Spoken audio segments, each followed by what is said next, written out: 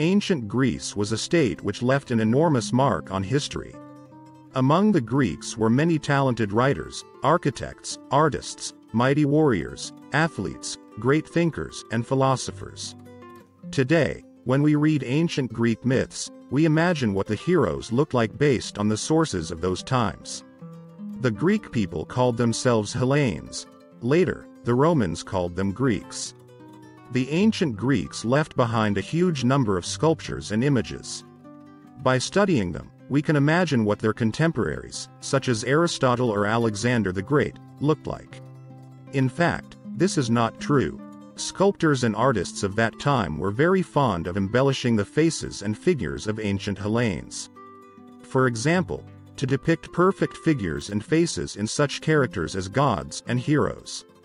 After all, it was a matter of memory for many centuries, so artists wanted descendants to represent the Greeks as ideal in every way. Negative characters, such as scoundrels or commoners, were depicted with prominent eyebrows and animal noses, either flattened, like those of monkeys or hooked, like those of birds of prey. Take, for example, such a notion as the Greek profile.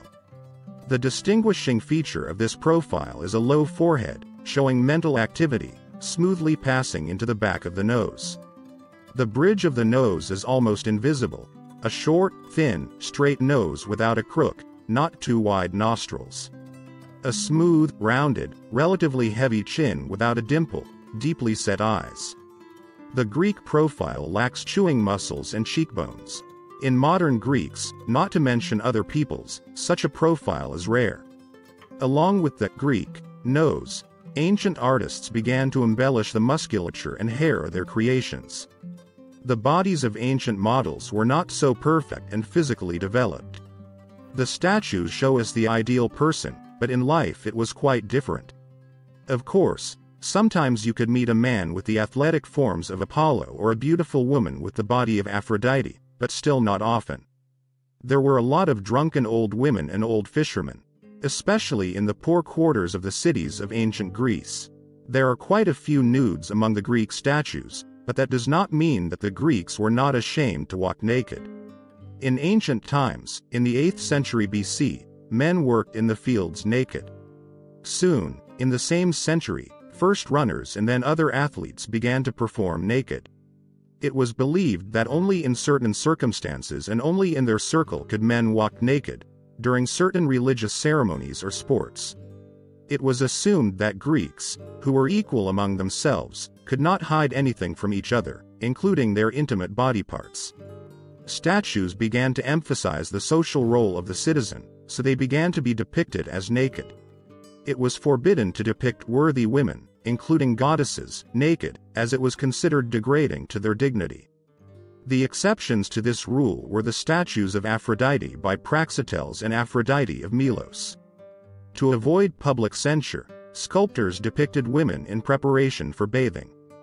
By studying the skeletons in ancient Greek tombs, scientists can say that the Greeks were indeed relatively tall.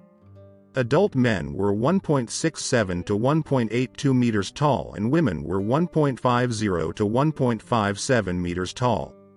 If we believe the myths, the ancient Greeks were blue-eyed blondes but today it is proven that some languages did not have the right words to describe the colors we know, so they chose the closest in meaning.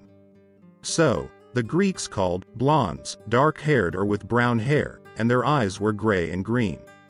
Modern anthropologists believe that the ancient Hellenes looked different. For example, the Spartans and Thebans were tall, broad-faced, with fair skin and hair. The Hellenes, on the other hand, were shorter and darker. The possibility of seeing the real faces of the ancient Hellenes appears in the study of the Fayum portraits painted from the 1st to the 4th century AD, funerary images of the Greeks who lived in ancient times in the Egyptian oasis of Fayum. The Greeks settled there after the conquests of Alexander the Great. Relatives of the dead commissioned the most accurate portraits, as they wanted to remember their loved ones as they were. We can see from these portraits that the ancient Hellenes did not differ much from the modern Greeks. Most of them were dark-eyed and dark-haired, with only occasional light-eyed and fair-haired tribesmen. The ancient Greeks sewed clothes from rectangular wool or linen fabrics and wore light clothing because it was hot most of the year. Greek clothing usually consisted of a tunic, chiton or peplos, and a cloak. It was fastened at the shoulders and waist with pins or decorative clasps, and the waist was tied with a belt. Women's clothes were ankle length and men's clothes were knee length. The inner tunic of Greek women, made of wool, was called peplos and had clasps on the shoulders. The chiton was a lighter linen tunic, often pleated, worn by both men and women of all ages. The hot Mediterranean climate of ancient Greece did not allow clothes to cover the whole body, so they came up with the idea of exposing one shoulder. It was first in Crete, then in the islands, and in mainland Greece to walk with the bare shoulder. Ancient Greek women wore a shawl or loose veil over their tunics, loved gold and silver necklaces, and often adorned themselves with earrings and bracelets. Men usually wore chlamydes, woolen robes about the size of a rectangle. Such clothing was considered by the Greeks to be typical military attire and in cases where the kluta was not worn as a robe, it was wrapped around the arm so that it could serve as a light shield in battle. Working men usually wore a loincloth. The ancient Greeks walked mostly barefoot, especially in the house. However, they wore leather boots or leather sandals when necessary. In summer, to protect themselves from the heat, men wore a wide-brimmed hat called a epetizos. It was worn mostly for travel, Greek women wore hats with crowns with high peaks. Most women had a narrow waist, graceful build, short stature, black eyes, and hair. Faces were hidden in shadows, so the skin was pale. Women wore either tresses framing the neck or curls gathered on the forehead or braids into which they wove ribbons. According to numerous studies, even young girls were quite severe and looked militant and masculine for a long time about the differences in the appearance of the ancient and modern Greeks, there was a popular stereotype that the Greeks used to be all fair-skinned, with regular facial features. After all, this is what all the ancient Greek poems claim. And in the fact that they have changed now, the effects of the Turkish conquest played a role. Since then, numerous genetic studies have been conducted examining the remains left by the ancient Greek conquests. Modern evidence claims that the Greek people arose from a mixture of many ethnic groups. The Ionians, the Aeolians, the inhabitants of Crete, the Dorians, Spartans and Macedonians, and the Achaeans.